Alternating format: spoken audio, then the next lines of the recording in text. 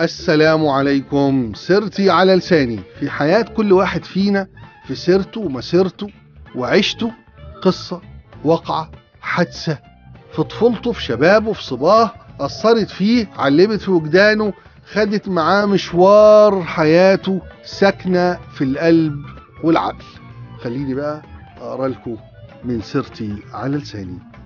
أول ردنة عود انفجر معها دمعي.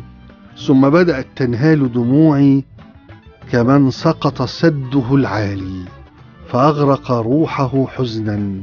كان صوت مرسيل خليفة يغني في المسرح أحن إلى خبز أمي وقهوة أمي ولمسة أمي. قصيدة محمود درويش التي تشوي عظام قلبي ألما. لم أستطع المقاومة وكنت قد فقدت أمي منذ أشهر قليلة فصار الدمع نهنهة والبكاء نشيجا والموقف فضيحة.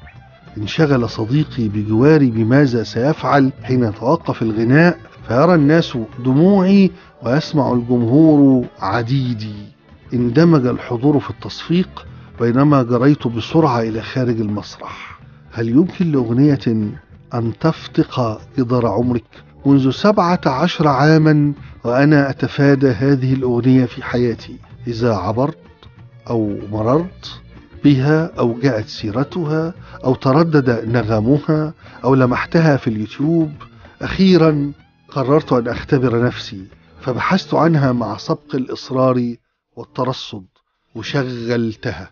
مع أول رنة عود اكتشفت أنني لم أكف يوما عن الدمع لأمي صارت كل الأغاني تجعلني أبكي أمي. كنت أول اسم في لجنة امتحان الثانوية فكانت جلستي في آخر مقعد الملاصق للحائط أمامي صاحبي الذي يحمل نفس اسمي. أنظر ناحيته فأجده ملتفتا إلي بجزء من رأسه ساندا على ظهره ويبدأ في انتظار أن أغششه الإجابة عن أي أسئلة.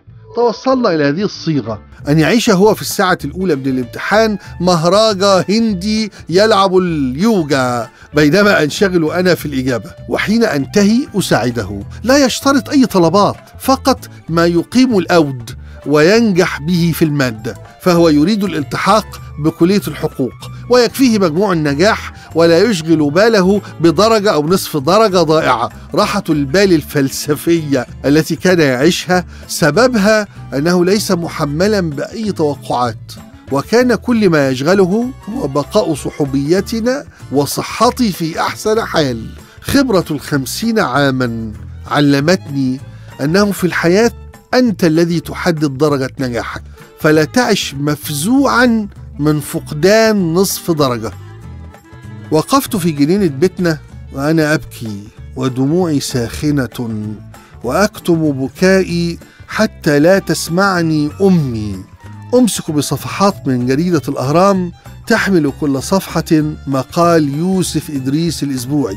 كنت أقصها وأجمعها وأضعها في ظرف أصفر كبير من أظرف أبي أخرجت الصفحات وجمعتها في قبضة يدي دامعا وأخذت أمزقها نتفا ومزقا وقطعا وأقذفها في هواء الجنينة.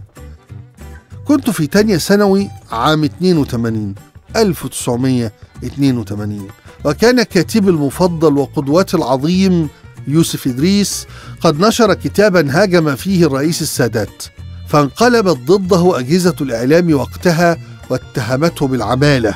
صدقتهم وأصبت بصدمة مدوية وأخذت أمزق صفحات مقالات يوسف إدريس وأرمي كتبه. بعدها بعدة شهور كان مبارك وحافظ الأسد يتمشيان بحرسهما ورجالهما في الساحل الشمالي. فإذا بيوسف إدريس في شرفة الفيلا بتاعته يناديهما فيجلسان معه ويشربون الشاي ويلتقطون لهم الصور وينشرونها في الصفحات الأولى.